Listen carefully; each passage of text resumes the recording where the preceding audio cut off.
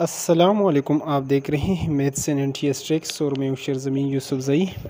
इससे पहले हम जो इंग्लिश ग्रेड फोर, जो बुक है के पी के और पंजाब टेक्स्ट बुक, इसके तीन लेसन जो है ना ट्रांसलेशन के साथ हम कर चुके हैं। आज हम यूनिट नंबर फोर स्टार्ट करेंगे। द प्राइड ऑफ़ पाकिस्तान, यानी फ़हर पाकिस्तान, इसकी ट्रांसलेशन करेंगे। तो वीडियो को आप स्टार्ट से एंड तक लाजमी देखें कि बीच में आपसे दरमियान में कोई इंपॉर्टेंट क्वेश्चंस या कंसेप्ट आपसे मिस ना हो। तो चलो स्टार्ट करते हैं अपने लेसन को।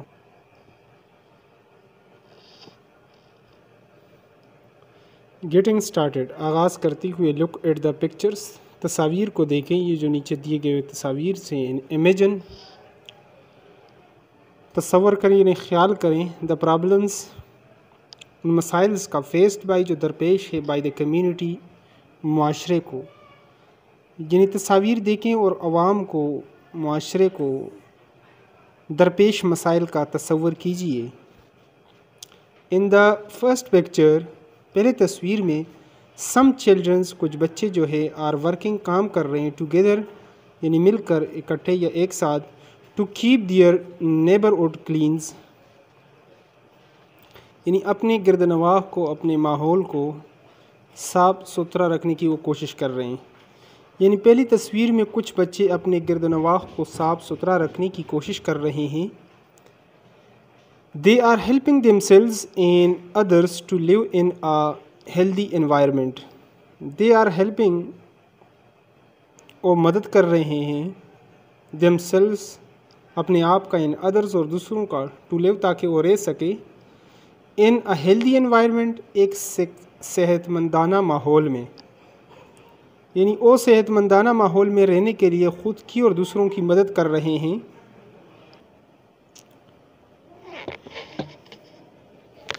Consider the other pictures too दूसरी जो तस्वीर है दूसरी तस्वीर पर, तस्वीरों पर भी गौर कीजिए। Consider the others pictures too when there is a pandemic जब कोई वबा आती है, फैलती है people come out to help each other तो लोग एक दूसरे की जो ने क्या करते हैं जी? मदद करते हैं। जब एक वबा फैली हुई होती है, या हुई थी तो लोग क्या करते हैं? एक दूसरे की मदद को निकलते हैं। In both cases they are not only helping each other, but also showing love towards their country. ये न कि सिर्फ़ वो एक दूसरे की मदद करते हैं। यानी दोनों सूरतें में वो न सिर्फ़ एक दूसरे की मदद करते हैं, कर रहे हैं, बल्कि अपने वतन से भी मोहब्बत कर रहे हैं। यानी शोइंग लव मोहब्बत भी वो दिखा रहे हैं, कर रहे हैं टूवर्ड्स देयर कंट्री अपने मुल्क की तरफ़, अपने मुल्क से मोहब्बत भी कर रहे होते हैं उसी वक्त। लेट्स टॉक आइए बात करें। Are not these people our national heroes क्या ये लोग हमारे कौमी हीरोज़ नहीं हैं? तो क्वेश्चन पूछा गया है तो इसका आंसर हो जाएगा yes certainly they are our national heroes because they are working for the protection of their motherland and helping the nation यानी जी हाँ बलाशुबा ये लोग हमारे कौमी हीरोज़ हैं क्योंकि वो मादर मिलत की हिफाजत के लिए काम कर रहे हैं और कौम की मदद कर रहे हैं। अगला जो क्वेश्चन है do these people need to be increase in unheard how क्या इन लोगों को हौसला अफजाई और इज़्ज़त देने की ज़रूरत है और क्यों? तो इसका आंसर हो जाएगा yes good deeds are people needs to be encouraged at every stage for this purpose we should praise them and must give them a helping hand जी हाँ लोगों के अच्छे कामों की हौसला अफजाई हर सत्ता पर की जाने की ज़रूरत है। इस मकसद के लिए हमें उनकी तारीफ़ करनी चाहिए और उन्हें मदद देनी चाहिए। How can we show love for the country हम अपने वतन से मोहब्बत का इजहार कैसे कर सकते हैं? यानी हाउ कैन वी शो तो इसका आंसर हो जाएगा we can show love love for the country by serving it in different ways. यानी हम अपने वतन से मोहब्बत का इजहार मुख्तलिफ़ तरीक़ों से जो है ना, वो कर सकते हैं। अगले पैराग्राफ की तरफ़ चलते हैं।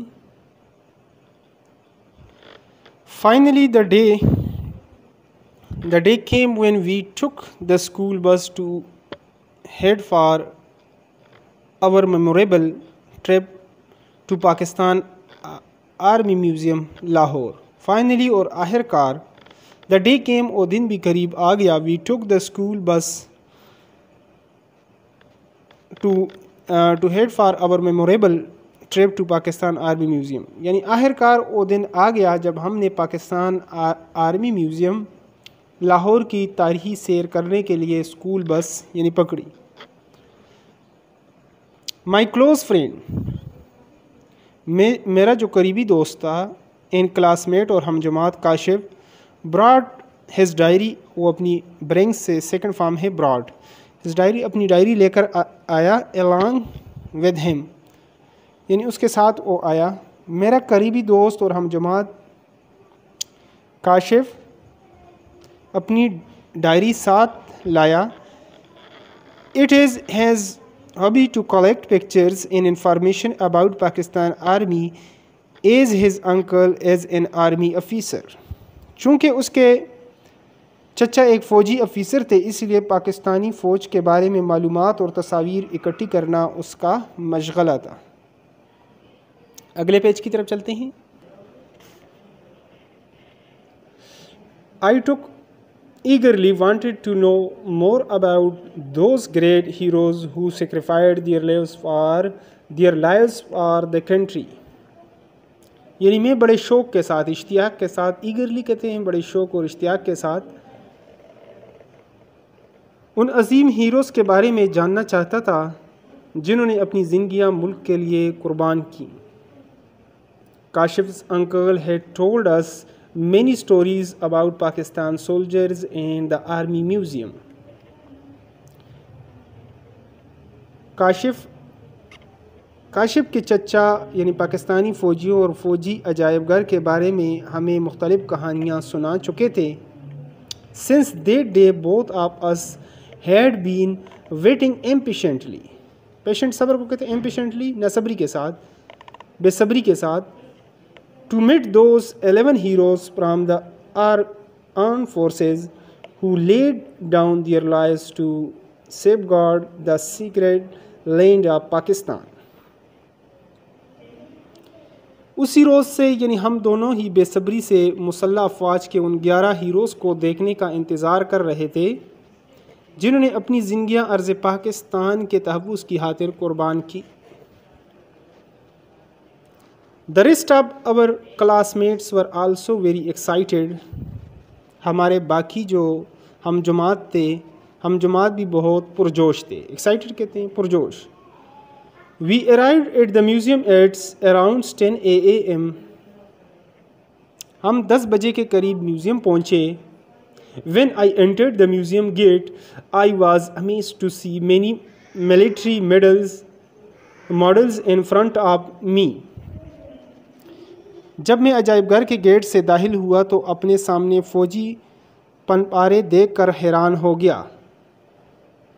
क्रेफ्ट्स जो है ना, क्राफ्ट्स जो होता है फन पारे फन पारे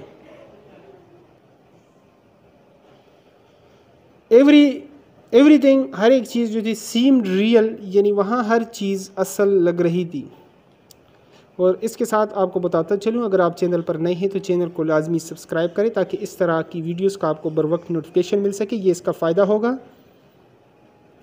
तो आगे चलते हैं। There were many big galleries huge slabs in walls यानी वहाँ बड़े तस्वीर खाने वसी पत्थर की तख्तियाँ और दीवारें थी। गैलरीज यानी तस्वीर खाने स्लेब्स यानी पत्थर की तख्तियाँ these galleries and slabs had different names इन तस्वीर खानों और पथरीली तख्तियों के नाम मुख्तलिफ़ थे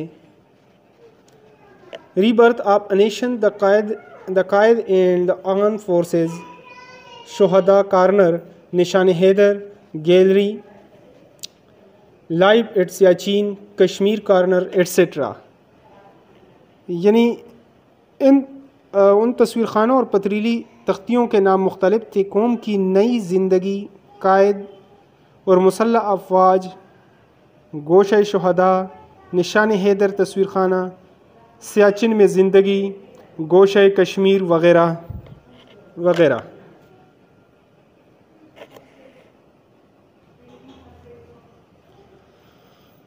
On getting inside the museum building, I आईफर्स four captured Indian tanks, यानी म्यूज़ियम की इमारत के अंदर दाखिल होने पर मैंने कब्ज़े में लिए जाने वाले चार भारतीय टैंक देखे।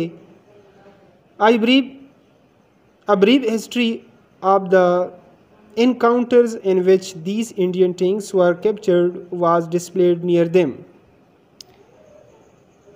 encounters कहते हैं जड़पें। जड़पों की मुख्तसर यानी मुख्तसर तारीख जिनमें भारतीय टैंक कब्ज़े में लिए गए थे, उनके करीब ही रखी गई थी। Each and every story told us about the bravery of our soldiers who fought for the country हर कहानी ने हमें हमारे फौजियों की बहादुरी के बारे में बताया जो मुल्क के लिए लड़े। As mentioned before one of the galleries was name rebirth of the nation जैसा कि पहले बयान किया गया है कि गैलरियों में से एक का नाम रखा गया था कौम की नई ज़िंदगी। Rebirth of the nation I was surprise to see life size portraits of Quaid Azam addressing the assembly of Pakistan August eleven nineteen forty seven 11 अगस्त उन्नीस सौ सैंतालीस को पाकिस्तान की दस्तूर साज इसम्बली से हिताब करते हुए कायद अज़म रहमत की जीती जागती तस्वीर देख कर मैं हैरान रह गया this gallery was telling a story of the struggle for freedom through paintings photographs and brief informations. ये तस्वीर खाना पेंटिंग तस्वीर और मुख्तसर तारीखी मालूम के ज़रिए आज़ादी की जदोजहद की कहानी बता रहा था। अगले पेज की तरफ़ चलते हैं।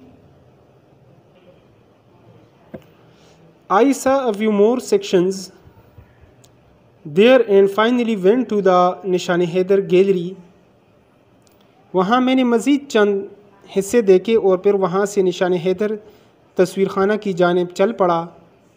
Here I came to know about the Nishan Haider in एट्स value यहाँ मुझे निशान हैदर और उसकी कदर कीमत के बारे में पता चला our teacher told us that this highest military award is awarded to those soldiers and officers of the armed forces who sacrifice their lives for their country in an ex, in uh, extraordinary act of bravery यहाँ तक काफ़ी लंबा जुमला है ये। तो यहाँ bravery तक इसका जो मतलब है वो बनेगा अवर टीचर से। जिन्हें हमारे उस्ताद साहब ने बताया कि ये आला फ़ौजी एज़ाज़, यानी सिर्फ़ उन्हीं सफाइयों और अफसरान को दिया जाता है जो गैर मामूली बहादरी के अमल से एक्ट कहते हैं अमल से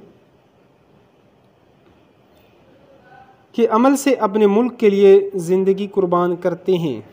Nishani Haider's means mark of the line. Nishani Haider का मतलब है शेर का निशान।